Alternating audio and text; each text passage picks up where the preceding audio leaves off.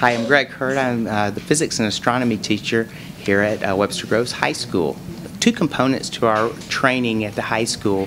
One was an educational component uh, where we were uh, discussing what was happening um, and really reviewing with the high school students about the um, motions and uh, what was taking place with our sun, moon, and earth positioning. And then the second component was um, a safety component where we were discussing uh, ways to keep your eyes safe. There's going to be a lot of other stuff going on that we can observe, and using the pinhole viewer is going to be one of those things that we can do. Now, I don't want to just lecture to you about this, okay? You can see the shadow from that front wall, if you needed to, could become the moon, and you've got the eclipse going across the direction. When the moon is full, it's 180 degrees around the sky from the sun. Crescent, nicely done.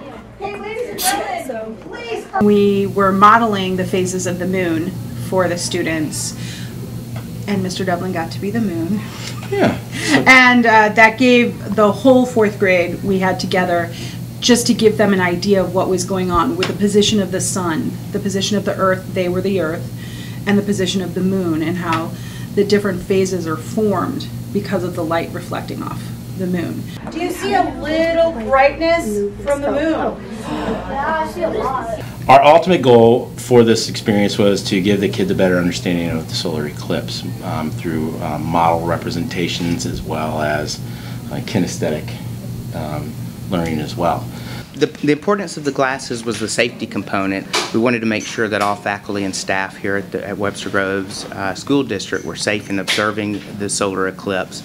Um, these are ISO certified by a science organization uh, to make sure that they had the proper filter uh, that was uh, going to protect the inner side portion of the eye called the retina, which uh, is susceptible to um, some damage if viewing the uh, solar eclipse without, without the protection on.